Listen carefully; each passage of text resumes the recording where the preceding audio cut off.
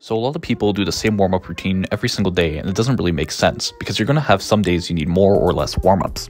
Most days I can just do warm-up sets starting with the bar, going to my working sets, nothing extra, that's enough for me.